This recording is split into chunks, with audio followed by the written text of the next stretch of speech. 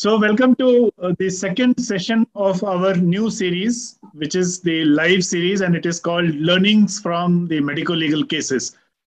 So we designed this series so that whatever view, finally, whatever view is taken by the highest courts in the country regarding the issues which are which happen essentially in the hospitals and the uh, the concerned parties land up in court. So that view becomes the final view as to how a particular situation should be viewed and how a particular implementation or a guideline or a, uh, an issue must be addressed. So, in that sense, these become the case laws. Now, it is important for us to see these cases because see these cases and also the orders that have been passed by the Honorable Supreme Court and the National Commission, because this becomes the final uh, interpretation of the issue involved. And that is why it is important for us to know these. So, with, uh, with this view, we've started this series and we have already had one uh, session uh, which was on professional negligence. Uh, the series has received a wonderful response. A lot of people have joined from they have, they have registered and now they are also joining. Uh, and this uh, this particular today's topic will be taken by Colonel Ashish Banerjee. He is a doctor and also a lawyer. Lawyer in that sense that he has is qualified, but obviously in India you can't uh, you can't be registered simultaneously with the medical council and the bar council. So therefore, he is a doctor with a very very nice and clear understanding of how a medical legal case should be interpreted. And he is here uh, with us to tell us the, uh, the not only the case, but also the interpretation of the court order. Another thing that we need to know is also how to prevent such an occurrence from happening in our own hospitals. So to that end, I'll request the participants to ask questions whenever uh, towards the end of this program so that we get clarity. The purpose of this program is to get clarity and to be able to function in such a manner that we are not drawn into medical legal uh, cases in that sense. So I'll now hand over to Colonel Ashish Banerjee. Uh, over to him. Ashish, your call. Thank you so much, sir. Uh, good evening, uh, ladies and gentlemen. Uh, today's uh, index case is Mrs. Miss Samira Kohli versus uh, Dr. Prabha Manchanda and another.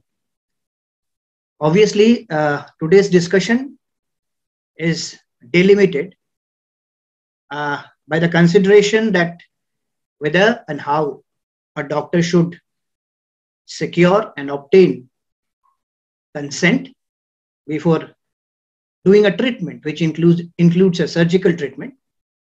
Also, we will consider that what actually shapes the boundaries of the consent in terms of duty of a doctor as to how much to disclose. In this particular case, uh, the irony is a bona fide operation was performed. The operation was performed well, but it was contested on two different grounds altogether.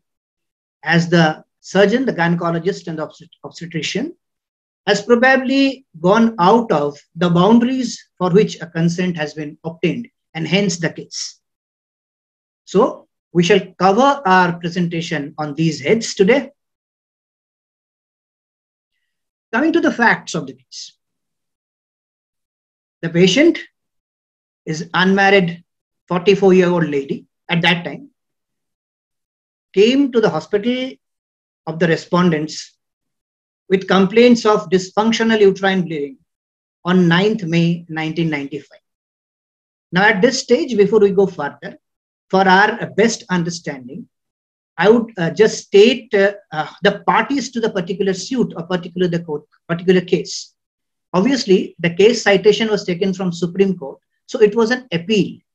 Now, the appeal generated or the appeal transpired by Ms. Samira Kohli, who was the aggrieved party, as the matter was first litigated before a learned NCDRC, and the matter was rejected. While the matter was dismissed by NCDRC, aggrieved by the same, Ms. Samira Kohli appealed before the Supreme Court. So, what we are discussing when you talk about appellate, the appellant, appellant is Mrs. Ms. Samira Kohli, and the respondents are Dr. Prabha Manchanda and the hospital. With that basic understanding, let's now go ahead with the case. In this particular case, once she reported to the hospital with complaints of a bleeding, painful bleeding, serious, severe bleeding, that is menorrhagia and dysmenorrhea, over a period of 9 to 10 days, a consent was obtained on 9th May 1995 for diagnostic and operative laparoscopy. And the consent read that the laparotomy may be needed. During uh, the procedure, at the time when diagnostic laparoscopy was carried out, they found that it was a case of a frozen pelvis. And because of the adhesions, no organ in the pelvic cavity could be identified. So they extended the operation as was given in the consent and a operative laparoscopy was undertaken. At this juncture, they realized before uh, the procedure took place, an ultrasound was done. And during ultrasound, they had found there's some swelling on the right side of the pelvic cavity, uh, certain cysts, some fluid in the pouch of Douglas and cul-de-sac, and similar such findings indicative of endometriosis. But when a laparoscopy, an operative laparoscopy was performed, they found there was a huge mass of chocolate cyst that was sitting, and as a result, the entire right side of the uterus, the fallopian tube, the ovary, and some portion of the uh, bowel viscus is also getting adhered. On the left side, uh, the ovary was intact. However, the tube was uh, stuck in an endometriotic tissue, and there was a small cyst as well. And there was a lot of blood in the pelvic cavity. With this finding, video recording was done, and consent was obtained from the mother of the appellant, that is Samira Kohli, while she was under anesthesia, under GA, and an abdominal hysterectomy with bilateral salpingo-oophorectomy was performed. Patient recovered, and on 14th May 1995, she was informed that her reproductive organs had to be removed because of the condition called endometriosis and that she should not have any further complication it was removed. However her suitor uh, she has a had a boyfriend commander jutsi arrived in the hospital on 15th uh, 5 15th may 1995 he was aghast that the consent was not taken and the patient was operated upon they were planning to get married. So she was, according to him, an unwanted, an unwarranted, and unauthorized illegal operation was carried out on her. This has robbed her of her chances of motherhood. This has diminished her prospects of marriage. This has caused him, caused her lot of, lot of pain, agony, and mental harassment. With all this, he incited the patient, instigated rather the patient, and they, without settling the bill, moved out of the hospital. As a result, respondents lodged complaint on 23rd May 1995. And the allegation against the allegation of unauthorized removal of reproductive organs. A legal notice was served a reply to the legal notice was given by the appellant, that is Samira Kohli, and a rejoinder was also filed. Once the pleading was complete, the appellant raised the issue with National Commission and filed a OA, original application. The matter was decided against them on 19 November 2003. The basic reason why learned NCDRC gave a dismissed the OA was threefold. Firstly, the appellants, as per NCDRC, voluntarily visited the respondent's hospital. The operation that was carried out, that is hysterectomy and other surgical procedures were done with adequate care and caution. There was no negligence in that. And that, that removal of uterus and ovaries was necessitated as a national commission felt that the right to choose what type of treatment to be given has to rest with the doctor. The doctor must be free to decide what line of treatment they would take. And since there was no uh, allegation against wrong procedure that was adopted, NCDRC dismissed the petition that is that was before them. Now, actually, how the matter unfolded, we shall discuss it from appellant's point of view, that's the patient's point of view, and then the respondent's point of view. We'll take one after the other.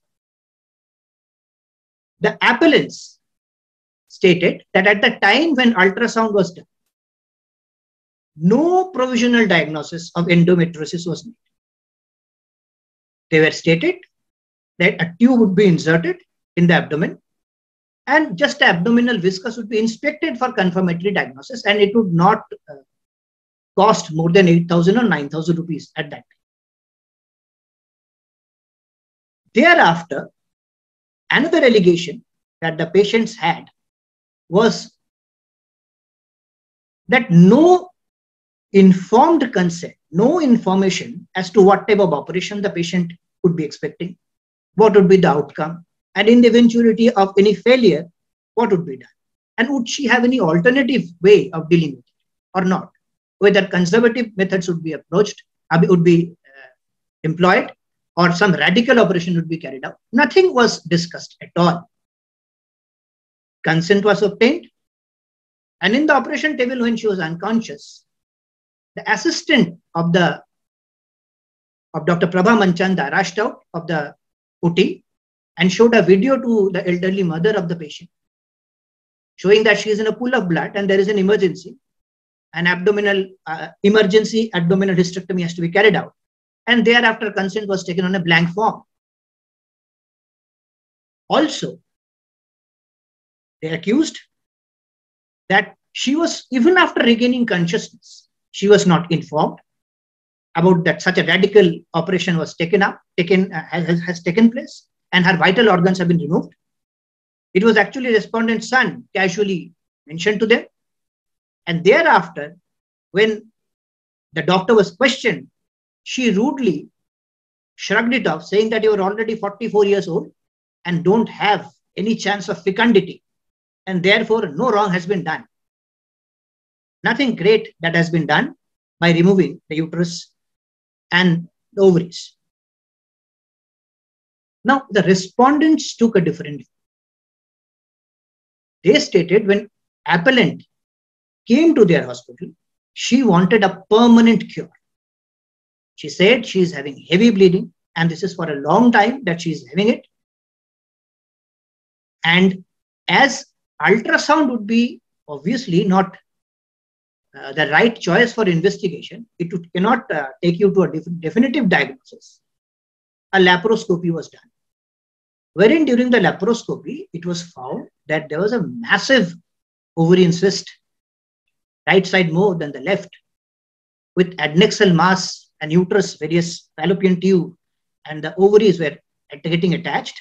There are chances of widespreading of this endometriotic tissues, resulting in spreading it to the nearby bowel viscus, causing a perforation. As such, there were a lot of blood in the of Douglas, and also that the patient was almost at the perimenopoietic state.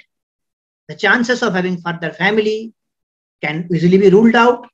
A hysterectomy was performed at the best interest of the patient as she herself wanted a permanent cure. Based on this, and as uh, they did not, the patient did not pay the money, they claimed an amount of around 40,000 rupees to be levied to them. Whereas patients had, in terms of compensation, claimed 28 lakhs in the consumer fund. Now, what did the patient had in their mind when they go to the court? they stuck to that the consent taken was violated. The operation was done, which was not within the ambit of the consent. They said the consent was for diagnostic and operative laparoscopy and a laparotomy may be needed, whereas a completely different operation, wherein all the reproductive organs were removed, which was undertaken and not being within the ambit of the consent. Therefore, it results both in assault as well as battery. Nowhere it was mentioned that there were extensive endometriosis. It is neither mentioned to the patient orally nor it is written down in any of the documents, case sheets. The emergency operation was not stated anywhere. Hospital made a cooked up story to earn more money, to charge the patient more. And on two facets, they came before the consumer court stating that the doctor and the hospital erred in two basic, on two basic premises. First, that the surgery was beyond consent. There was no consent for such radical surgery. And second, as discussed during that ultrasound, that no conservative method was explored by the doctors. They directly had gone for a radical abdominal total hysterectomy with salpingo oophorectomy bilateral. This was the very basic premise with which the patient came to the court, against which the doctors contended that the ultrasound abdomen is obviously by any means is not adequate for diagnosis of endometriosis. Laparoscopy was inconclusive because of the frozen pelvis situation. Bilateral chocolate cyst detected in operative laparoscopy, laparotomy, and there are severe adhesions all over the abdomen. On-site consent was indeed taken for abdominal hysterectomy. So it is not that the operation was against the consent.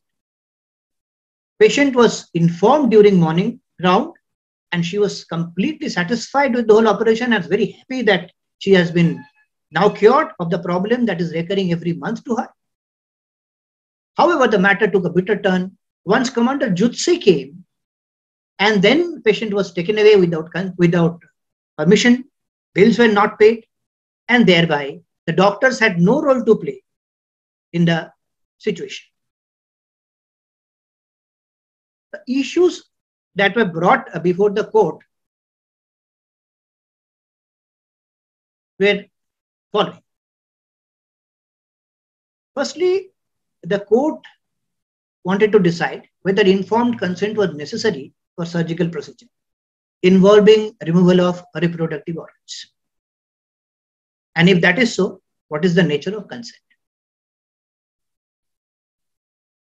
Here, the consumer court gave a clean check to the doctors, stating that whether a surgery would be extended or what type of surgery would be performed would have to be left to the specialist concerned. And this cannot be determined by the patient, individual patient. Also, the fact that an on-site consent was taken, therefore the operation was not beyond the scope of the consent.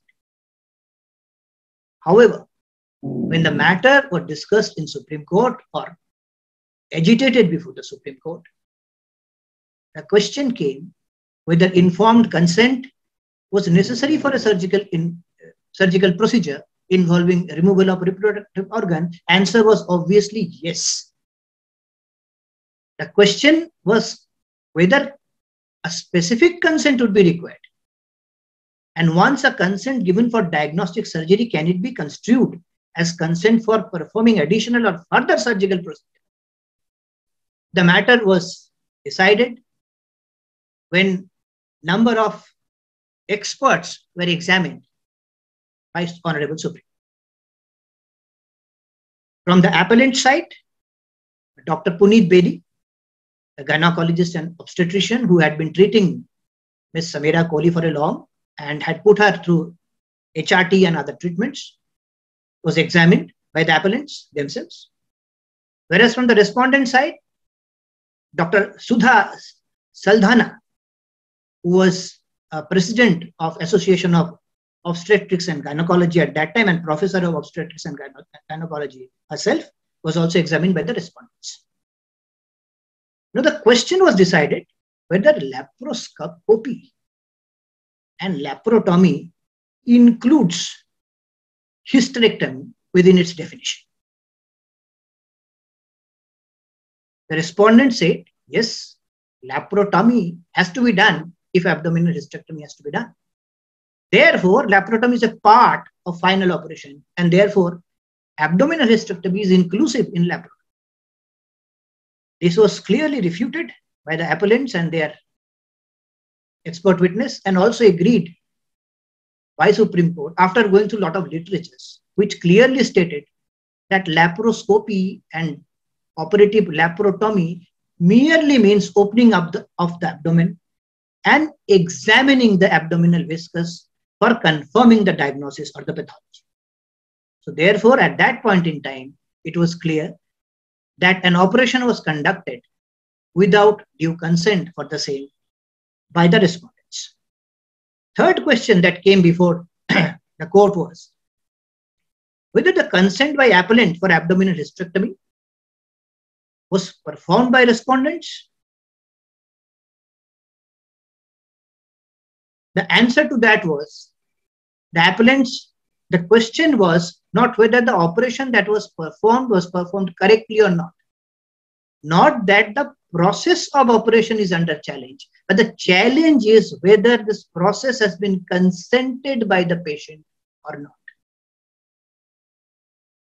Obviously, as an answer to this question appeared that the consent for this particular procedure, that is abdominal hysterectomy and bilateral salpingo oophorectomy, was never taken. Now, the question that was before the court was that is it an excuse for the doctors or is it a acceptable reply that the patient ultimately would have, have to undergo such an operation, such a radical operation? Or more time and expenses and pain could have been saved. A patient was cured. However, through catena of judgments in India as well as abroad, it states that these are no excuses for the doctor to go beyond the realm of a consent that has been taken in black and white. Another point that was raised by the appellants was that the respondents falsely invented the case to take money from the patient. They supported their claim that ultrasound did not reveal endometriosis. However, again, various experts deposed before the court and said that ultrasound is not an appropriate investigation to determine endometriosis. The videograph taken during the operation clearly showed endometriotic tissue and therefore, this particular point of appellates did not cut much, much ice in the court of The question were whether respondent ought to have resorted to conservative surgery or not was another point of contention. When contacted, the respondent defended themselves, saying that there was an emergency. However, during checking of the documents, the PAROP notes as well as discharge mode, nowhere it is stated that there was an actual emergency in the operation theater. And why should the emergency have occurred? Lata Rangan, Dr. Lata Rangan, who was assisting the respondent number one, that is Prabha Manchanda, she had clearly stated that seeing the frozen pelvis condition, it was decided that hysterectomy would be needed to cure this case. Therefore, there was no emergency.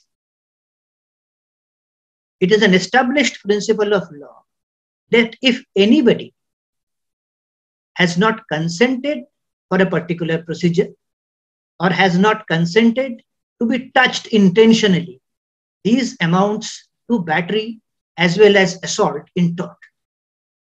So therefore, as there was no emergency as taken as a shield by the respondents and the operation was conducted merely on a decision that this would be the best line of treatment for the patient. As there was no emergency, consent taken on a particular form or particular process of treatment was definitely violated. That is what Supreme Court observed and noticed. Now, the question of whether the respondent is guilty of any tortious act of negligence battery, many issues were seen by the court. The court first took up what is consent. Consent gives a person or a doctor the right to deal with the patient in a particular way.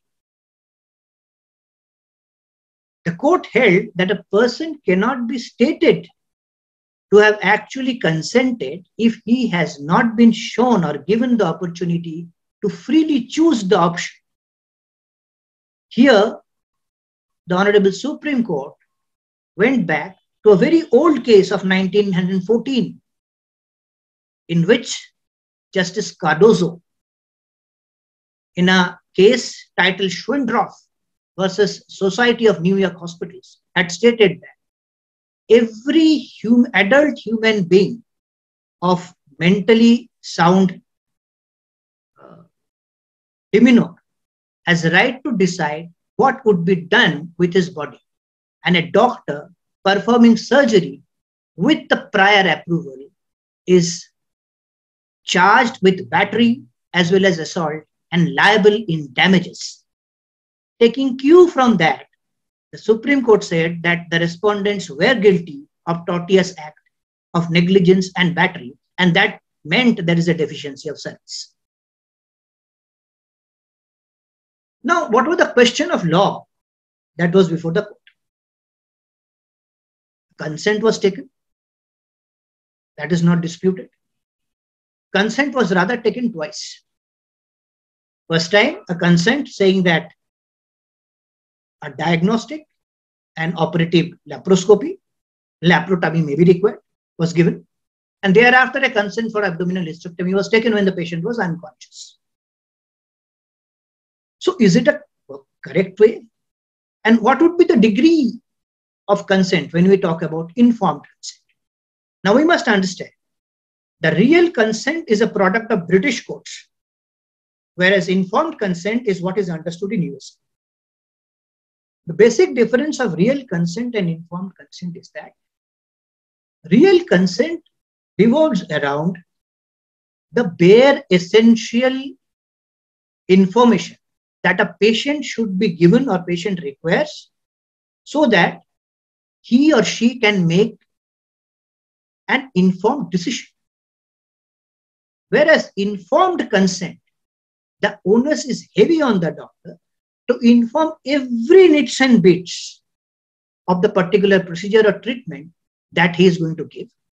He is liable to tell the patient what is the degree and difficulty of the operation, what are the benefits of the operation, when the operation would be carried out, what would be the final outcome, and what uh, side effects of that operation can take place in the form of failure, in the form of damages. Also, what would happen if such type of treatment is not taken? And what are the alternatives before the patient? This all needs to be discussed in details in informed consent. Whereas real consent bases itself on two or three things? Firstly the patient should be competent to consent. That is his age should be he should be a major above majority he should be of sound mind can take a decision and as far as the particular procedure or treatment is concerned the broad outline of the treatment needs to be given. I would give an example. Like for a particular, a particular say, particular this index case, one must disclose to the patient that if a hysterectomy and bilateral salpingo-oophorectomy is done, the patient would never be able to be a child. However, the distant complications, like there can be a vesicovaginal fistula, or there can be damage to the ureter need not to be disclosed in detail to the patient or an anesthetic complication which is not expected to happen normally need not to be discussed So that is the difference between real consent and informed consent. Therefore, Indian courts lay stress on valid and real consent rather than going strictly informed consent. Second is, is there any problem in obtaining real consent in India? Or why should not be an informed consent? The Supreme Court in this particular judgment elaborated in great details why having a consent, having an informed consent is not a good idea in India. Firstly, they differentiated the hospitals between government run hospitals as well as private clinics and nursing homes. The government run hospitals are overburdened with patients. Their investigating ability, the hospital services, as well as the patient, uh, the medicines available, available with them is bare minimum and rudimentary. Therefore, the question of informed consent does not arise over. Also, the patients the larger sector of India, rural sectors of India, from, from the every walk of life, are generally not very literate. They don't understand what is good for their body and what modality of treatment, what alternate modality of treatments they can offer. So therefore, giving an informed consent in a government hospital does not have much practicality. So it would be better that a real consent is given. The focus in this case was on private practitioners rather than the government. Court did say that there are many doctors who, without expecting much consideration, give their best for the patient. However, they also observe that not all doctors are paragons of humanity. There are hospitals, there is a common belief among people, amongst people, that hospitals unnecessarily do treatments, provide augmented bills to charge from the patient to make good business. So that also an aspect that cannot be unseen or that cannot be oversighted. Now the question arises that can a scope of consent be extended? We must understand the consent is actually an agreement. So moment the scope is changed, increased or decreased, this is called novation. And a novation in a contract rescinds the contract. That means the contract becomes null and void. So therefore, scope of consent cannot be extended. However, one has to understand that a consent given for a particular procedure or a treatment cannot be extended to include additional or a separate procedure. However, common consent can be taken for two or three different procedures. Third question, can consent once given be withdrawn by the patient during performance of the procedure? Answer is subjective and yes. Say a patient has consented for MTP just at the beginning of the MTP, even at the dilatation stage, she has every right to withdraw the consent. But once the procedure starts, once the procedure is halfway through, obviously, patient cannot at that time change the consent. Liability of the hospital, government hospital, as per this particular case, obviously are different from private nursing home, so, so long as take type of consent that they are expected to take. Therefore, in the light of the discussion, the appeal was allowed. An order of NCDRC, which has stated, which has dismissed the case, was set aside. It was held that the bill amount that the hospital has charged, if paid or partially paid, to be returned with an interest per annum and respondents, that is Prabha Manchanda and the hospital is required to pay rupees 25,000 with interest of 10% per annum. And the cost of the litigation to be paid. The court came to this particular judgment with, with the fact that although the operation that was done was without consent, was done in bona fide, with good faith. Finally, the patient probably in a year or so had to undergo such treatment. And there was no allegation of bad treatment or bad operation.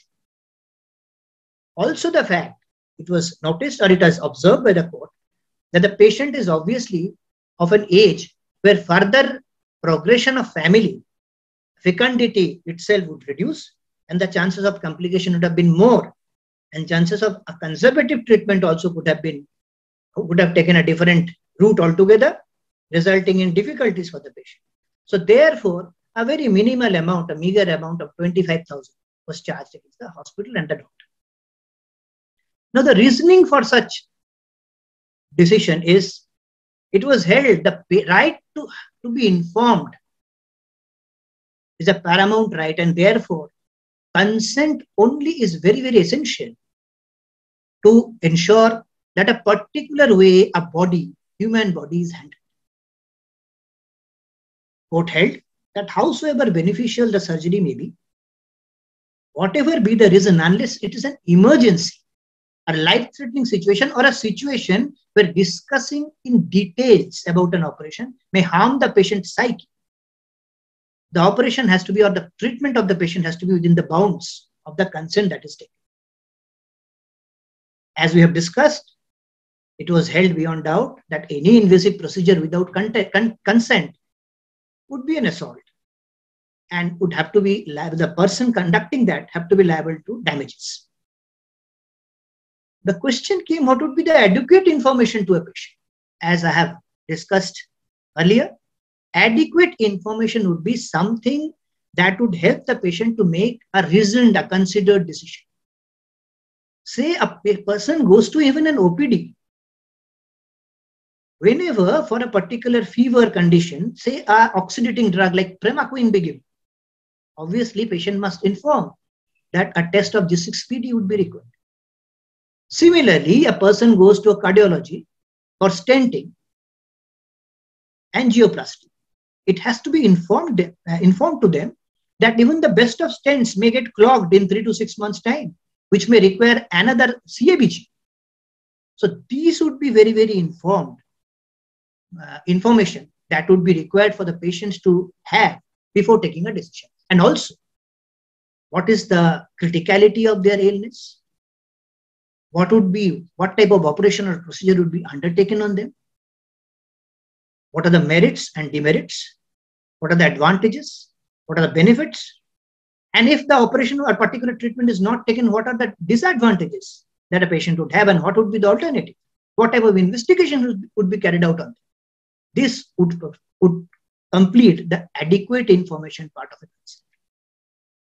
Therefore, it is held that patient self-sufficiency is vital and right to know, right to information is paramount. So therefore, what we take home is the doctor has to secure, seek and secure consent. A person can only operate or conduct a treatment without consent on two situations.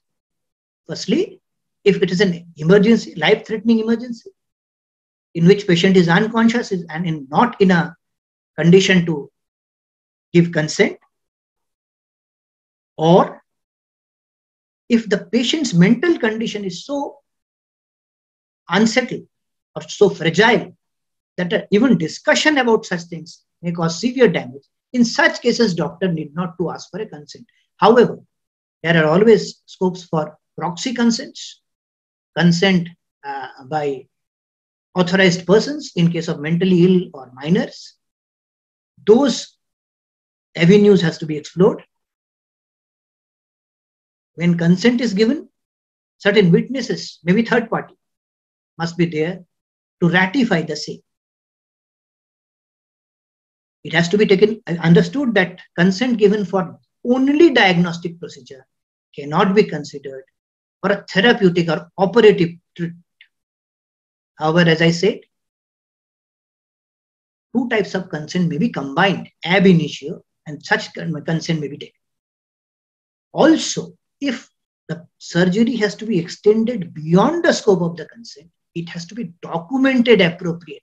And if there is a scope that this can be done later on, it is better such operations not be performed. In this particular case that we are discussing, the patient would have been allowed to recover from anesthesia and an operation, a radical operation, could have been performed later on. So there was the lacunae which was exploited by the patient and the relatives. Nature and extent of information of consent need not to be stringent. However, it should be obviously to the extent that it enables a patient in by all means by giving him adequate information so that he can take a decision and such information should be to that nature that medical men skilled and experienced similarly would accept this as a valid consent. And obviously it would always be a good practice to refer the expert uh, before uh, doing so or when uh, the such issues arise to mitigate any untoward or bad outcome of both case. So should there be any question, I'd be ready to take. Sir, uh, I have a small query, sir. Sir, uh, this is pertaining to the plea being said that uh, the government set up hospitals being too much burdened they should uh, the rules being applied that it should be only be applicable to a uh, private setup vis-a-vis a government setup wherein consent and you know medical negligence issues may as per your statement the the court said that you know one can overlook or one should not be you know uh, taking too much of cognizance into it. This cases of 2003 says almost two decades have gone by. Don't you feel sir that uh, this thing should be relooked as far as if more cases come up down the line sir? Whether it's yeah. a government setup or it's a private setup? Absolutely. Because after all uh, patient safety is of paramount importance. Absolutely but I think what you have probably missed out or probably did not get it the way I wanted to express it. That is that the question arose where it should be an informed consent in Indian setup or it should be a real consent. In a real consent, adequate information, bare minimal adequate information is to be shared with the patient. Whereas in an informed consent, all information is required to be shared with the patient. Now, if the patient is not literacy, literacy wise poor, even if the options of various other expensive surgery, operations, or investigations given to them, they will not be in a position to undertake them. Taking all this is in, into consideration, the Supreme Court said in Indian setup, a real consent would be more applicable rather than having an informed consent. Now, the question is that the basic uh, uh, information has to be provided to the patient. Information to that extent at, as it would be adequate for him to understand the risks involved if he undertakes that uh, particular operation or procedure. Even if a case of chemotherapy is, is started uh, for a patient, his consent has to be obtained, even though there is no invasive procedure is taken. So I think patient uh, uh safety is not compromised by this order. One Dr. Subramaniam here. Can I ask? Yes, please. Yes, please. Yeah, so I have four comments. Uh, I had gone through the case myself the, in detail, the Supreme Court judgment. So, first point I want to ask you your learned opinion, sir, is uh, many operations uh, uh have a lot of possibilities of various complications uh, which has to be informed beforehand to the patient in the consent document. And while informing uh, the patient about the possible complications, also the likely remedial measures have also to be enlisted in the consent document so that the patient gets a clear understanding of the extent of surgical procedure he is undergoing. Yes. So in that, in that uh, there are two types of sequelae which are usually seen. Uh, one the complications may have to be dealt with intraoperatively itself by various uh, subsidiary operations. Yes. That is called intraoperative remedial measure. And some of them may require post-operative remedial measure. Like it depends on the time course of the complications concerned. Correct. Now, in in in such a case, when like for example in neurosurgery we do spine surgery on the cervical spine we say that the esophagus may get damaged or the recurrent laryngeal nerve may get damaged or the blood vessels may get damaged. So, uh, in the case of a recurrent laryngeal nerve damage, it will be visible only after the operation. So, it may involve ENT consultation and ENT therapy post-operatively. That is a post-operative remedial measure which has been mentioned in the consent document. But in esophagus damage, which has been recognized during surgery, may require emergency intervention uh, by the gastrosurgeon, which may be called into the theater to repair a rent in the esophagus. So, uh, in that way, uh, I just wanted to know uh, because these procedures, the gastrosurgeon doesn't come in the picture between the patient and the neurosurgeon, but because the remedial action involves a gastrosurgeon possibility, uh, it is always a good idea to mention the consent document though that doesn't exist a patient doctor relationship by the gastrosurgeon but he has been called in an emergency in such a case yes. so i just wanted your opinion on that then second uh, uh, i need your opinion on suppose a, we have this uh, clause called surrogate consent like for example a patient is under anesthesia the patient yes. can he have give a legal right to one of his kith and kin especially the spouse to consent on his behalf for an eventuality that may occur during operation in which a decision has to be taken. Yes. So can can the consent document have a line incorporated that I authorize my spouse so and so to consent on my behalf in case an eventuality arises while I am under anesthesia during surgery? Is this legally valid? Then, okay. yeah. Yeah, if I can take one by one, otherwise I'll miss. Yeah. Yes. Uh, first question, uh, when you say that uh, if a additional specialist cover would be required or not, they can all be mentioned in the, in the consent form itself. Now, obviously, this would vary from case to case, and uh, such person need not to have a direct uh, doctor-patient relationship to begin with. However, certain clauses that any other additional procedure, if envisaged, can be taken for my benefit, or words to that effect can be included in the consent form and therefore he can he or she can be adequately informed that we are that this is the percentage of uh, recurrent laryngeal uh, damage in such an operation. Or this is the percentage of operation uh, people that has suffered from a perforated esophagus. And this was the corrective surgery done for them. And that can be adequately just mentioned in the consent. I would just limit myself today in today's discussion as you have also heard that if what we are discussing here if I have taken consent only for a diagnostic and a operative laparoscopy, that cannot be extended to a particular operation which is totally different from the from the consent for operation or procedure that has been taken. That is my first take. Second question, if I can just have uh, another uh, uh kind of refresher. Yeah, the second question is uh, like uh, the patient is authorizing is for her. Yes, surrogate, uh, uh, yeah. surrogate uh, consent. Yes, that's obviously that can be easily be done. There is no problem in having a surrogate if it's prior authorized. Then of course, surrogate consent stands valid. But say I have taken a consent for total abdominal hysterectomy with salpingofilter. And there is a complication that has taken place. I have taken a consent for cesarean section.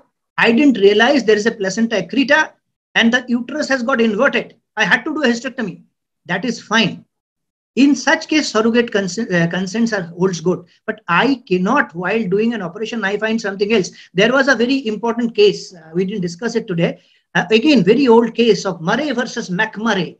In this is a very, very uh, well-known case in which what has happened was the patient came for operation, uh, came for uh, a particular operation for fibroid. But the doctor, when operating, realized there are multiple fibroids in the uterus. Uterus is full of fibroids. So they finally performed hysterectomy. Please understand, if it is a fibroid, and if fibroid, there are so many fibroids that it's better the patient has to uh, do a hysterectomy, has to be done on a patient. It is better that the patient becomes conscious, a fresh consent is taken, and that is being done.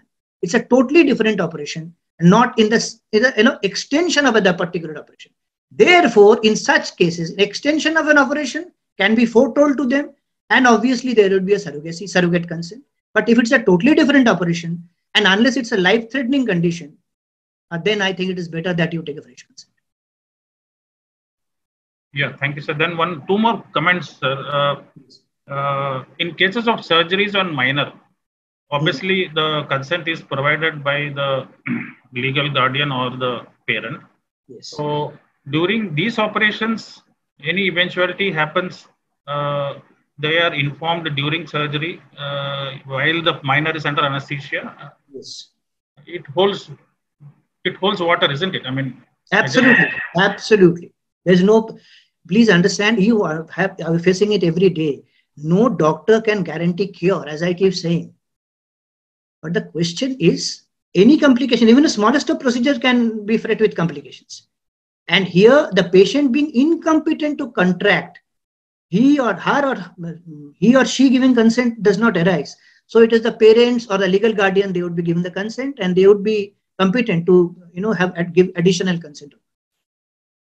One last comment, sir, because this case we had studied thoroughly again and again. Uh, as you had rightly mentioned that uh, out of nowhere, a, another a member of the patient's family came and decided upon not giving the fees and getting discharged. So to circumvent this issue, we have uh, brought in what is called a caregiver consent in, in today's scenario when the patient is admitted, especially for major surgeries or complicated surgeries or procedures, we take a consent that these are the people whom the doctor is authorized to talk to and nobody else other than these. So that uh, has to be clearly mentioned as a part of a caregiver consent where the patient decides these are the people whom the doctor will uh, confide with during the procedure. Uh, and uh, later on, any complication arise, they cannot actually bring the counselor or uncles or aunts because they have already consented. The doctor will only talk to these particular. It's just a suggestion, may not be part of the main talk you have given. But uh, this additional procedure also will safeguard our doctors. Yeah, actually, Dr. Subramaniam, at this stage, I would not fully go with you because if a consent can be against uh, the public law, I, you cannot have a contract with me stating that I cannot go to a lawyer. That is uh, not a, a, a valid uh, contract or consent. I understand hospitals do face very difficult situations, but if such situation actually arises, they would supersede the contract, they would supersede the, the consent that they have given. They would do whatever they feel like. But obviously, you have a remedy to ask for, you can uh, challenge that in court of law, so long as you have remained within the consent. Even a normal operation that has gone wrong, there is no negligence in that. That does not violate the consent. But in this particular case, as you have also correctly pointed out, that a consent was violated. So long as consent is not violated, some other party, the opposite party is not uh, honoring the consent, it, they, that can be, they can be taken to the court. There is no problem. Yeah, thank you, sir. Thanks. Any more questions, please? Okay, so it looks there are no more questions. So, Colonel Ashish, thank you very much. It was an enlightening talk. We have heard about this case again and again on multiple forums, and yet every time you discuss this, you do discover something new. So, to me also personally it benefited. I'm sure everyone else also benefited in a similar manner. Thank you very much. We come again with the third edition of the this learnings from medical legal cases. Two weeks later, we will be announcing the date and the topic separately. And all those people who are registered on this program will obviously get a message and an email. Thank you very much. And Ashish, thank you very much. Uh, thank you. Uh, very well presented. I think the, the discussion has taken place uh, and uh, questions also some uh, dr subramaniam has asked some pertinent questions. Absolutely. so that's what. Dr bhaskar jyoti kalita has a question i think let me let me yes yes i think uh, in the chat box there is. Uh, there is something in the chat box. So what about the timing for consent? Okay. Uh, so uh, any anything you want to add on this? What about the timing of the consent it's before the procedures. Before the procedure means ahead of the procedure. There has to be, uh, I mean, it should not be at the 11th hour. Okay, so Dr. Kalita, I hope your query is answered. The consent has to be taken prior to the procedure. Yes. Uh, even in emergency, prior means that you take the consent just before the surgery if the patient has landed up in the emergency department. Otherwise, you can take consent whenever you're counseling the patient, telling him about the treatment options and procedures. Yes, yes. And so, it is always better that uh, the team which is operating or doing the treatment gets the consent signed. Yes, this in fact is also a mandatory NABH requirement and also the JCI and NQAS requirements. Yes. So thank you very much. I think we are we have completed today's session and uh, it's great having all of you on this program. Uh, Dr. Mukesh, sir, very nice. Uh, nice to see you on the program. Uh, and uh, we meet again two weeks later. The topic and the uh, the date, of course, will be announced. The time remains same. It will be on Sunday and at 4 p.m. in the afternoon. Thank you very much and all the Thank best. You. Thank you, sir. Thank you so much. Thank you, sir.